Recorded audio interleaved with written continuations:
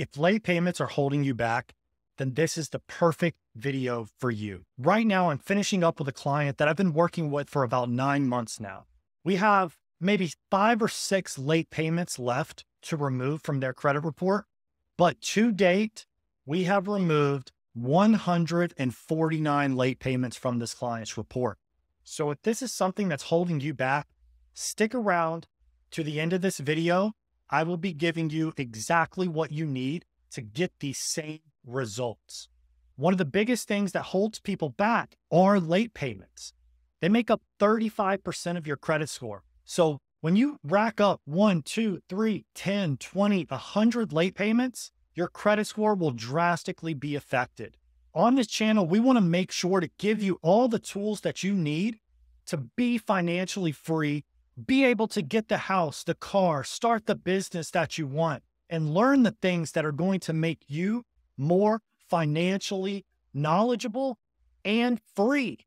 That way, you can do the things that you've always wanted to and accomplish the things that are on your list. So, in this video, we're going to go over everything that you need to remove those late payments from your credit report and watch your credit score jump.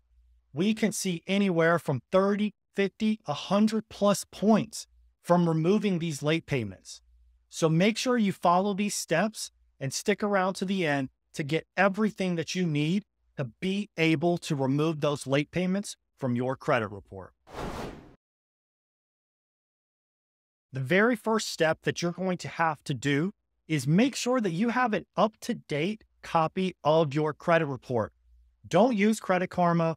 Don't use Credit Sesame. None of those apps. Make sure you have a three bureau report. We need to be able to see everything that is on your credit report side by side. Now, I recommend going over to Credit Hero Score. This is what we use. You can get an up to date copy for $1 that will get you a copy of your credit report. Now, one thing is a lot of people periodically check their credit report once a month, once every six months, once every year. You need to be staying up to date on this. It's a relatively affordable service to just have credit monitoring. That way, you know if somebody's using your social security number, has identity protection. That way, you can see if anybody is using your emails, if there's something on the dark web about you. Make sure that you protect your credit profile. That way, when it comes time to get the house, it comes time to get the car, anything that you need, you are going to know that your credit is in tip top shape. So, over at Credit Hero Score, you'll see just come to this website. I'll put the link down in the description. You'll be able to get a copy again for $1. This website is going to help you monitor, protect, and achieve the credit that you want.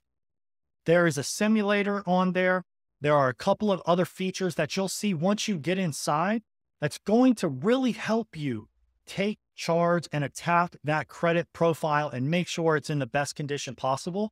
That way you can achieve the goals that you have for yourself.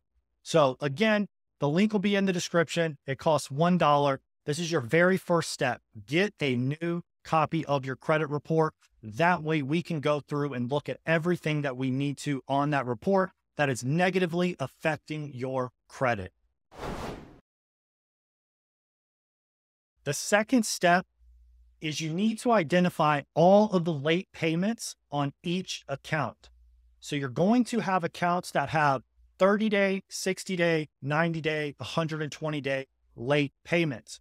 Once you have found all of those, what I suggest doing is print out a copy of that credit report and highlight each account with those late payments. Then what you're going to do is jump over to this letter. This letter is going to be your round one letter.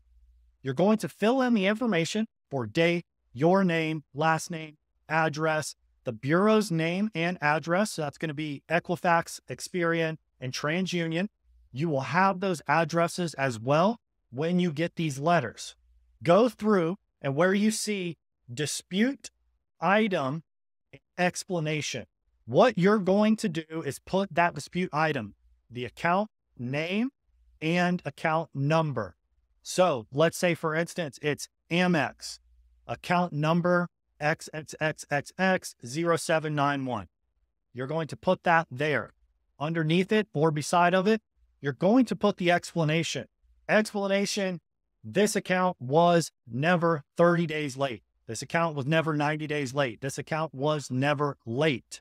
That way, you are signifying that the account was never late. This is what needs to be looked at. You need to remove this from my credit. That's what you're going to put under it as the what you want them to do.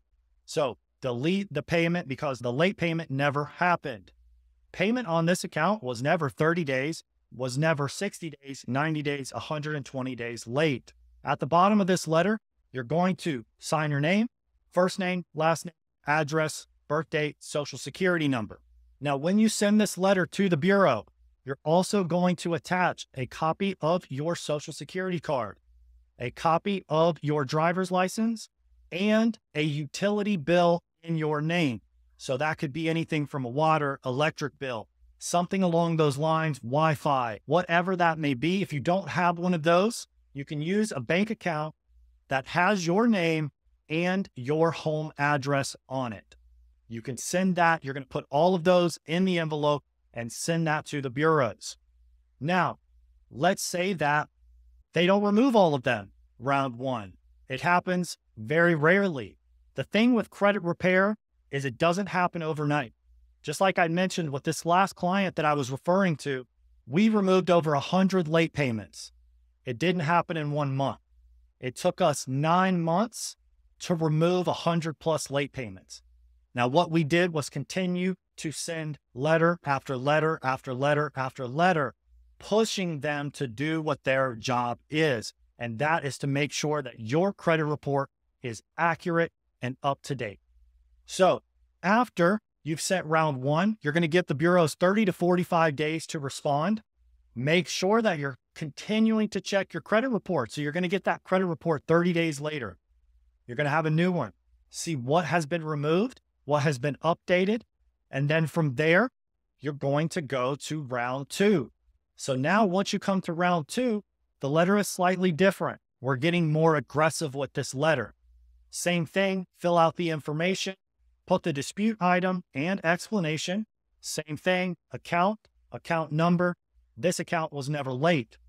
Delete the item from my credit report. This was never late. From here, they may remove it, they may not. Do not get discouraged. What you're going to do at this point is if after you get that new credit report the next month, if these accounts have not been removed, send the letter again.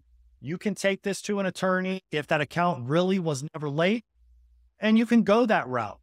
But here's the thing they want you to give up. Don't give up. Continue to push them and send letter after letter after letter. You have to play the same game that they're playing, and they know that more than likely you'll give up before they do. So you're going to have these letters, you'll have the addresses as well. Follow these steps. Come back to this video make sure that you're doing everything that you need to to get your credit where it should be and needs to be to accomplish the goals that you have. So now I know you're wondering, how do I get these letters? All you have to do is click the link in the description, go to the page, you'll be able to get a copy of both of these letters, addresses to the bureaus, and you will be able to start this process of removing these late payments from your credit report. I hope this video helps you achieve the next step of getting those late payments off of your credit report. If you need some more information about how to identify negative items and what you're actually looking at on your credit report, I'll link a video. That way, you'll be able to go through your credit report and look at all the other items that you may have on your credit report that need to be deleted. Those could be anything from collections to bankruptcies to personal information that doesn't need to be there or hard inquiries you'll be able to know exactly what should and shouldn't be there and remove these things from your credit report and get that score to continue to go up and up and up. So if you enjoyed this video, make sure to subscribe, give me a thumbs up. I really want to hear from you guys. How many late payments are you able to remove? Come back to this video, watch it, make sure you know what you're doing, and leave me a comment saying, hey, I removed 30 late payments. I removed 10. I removed one.